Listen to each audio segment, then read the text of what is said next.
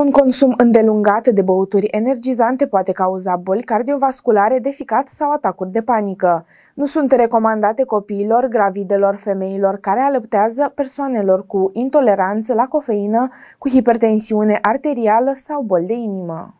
Băuturile energizante reprezintă un pericol iminent pentru sănătatea consumatorilor. Acestea conțin o cantitate mare de zahăr, dar și de cofeină, iar consumul în exces al acestor băuturi poate cauza afecțiuni grave, chiar și decesul. Un consum prea mare poate cauza probleme cu creșterea presiunii arteriale sau cu cea a conținutului de zahăr în sânge. Mai mult, persoanele care suferă de afecțiuni cardiace ar trebui să evite astfel de băuturi. De asemenea, aceste băuturi pot crește riscul de apariție al unor boli de inimă la o persoană clinic sănătoasă dacă sunt consumate des și în cantități mari. Consum energizante? Uh, ocazional. Consider că sunt o dependență pentru cei care le consumă excesiv? Nu. Cred că nu. Și nu ți este teamă de bolile care, pe care le poate provoca această băutură? Nu neapărat. Băuturile energizante pot provoca insomnii, iritabilitate și chiar depresie. Energizantele comercializate în România au un componență între 3 și 8 euri, substanțe care pot dăuna grav sănătății. Consumate în exces pot duce la apariția unor probleme gastrice, dar și neurologice. Consum energizante? Da, consum. Des? Nu. Ce și ce?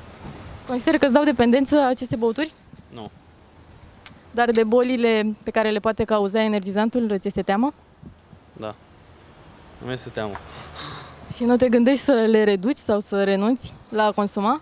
Ba da, dar corpul mai cere câteodată să prinde energie. Amplifică acțiunea alcoolului și sporește efectele fumului de țigară. Energizantele împiedică acțiunea calciului și de aceea nu sunt recomandate în adolescență. Da. Multe? Foarte multe. Crezi că e un lucru benefic? Uh, nu. Consider că îți dă oarecare dependență?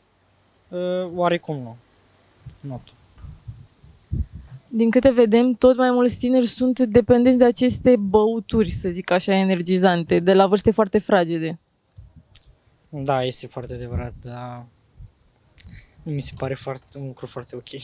Acestea conțin cofeină și taurină, iar consumul ridicat poate duce la anxietate sau palpitații, aritmii, hipertensiune.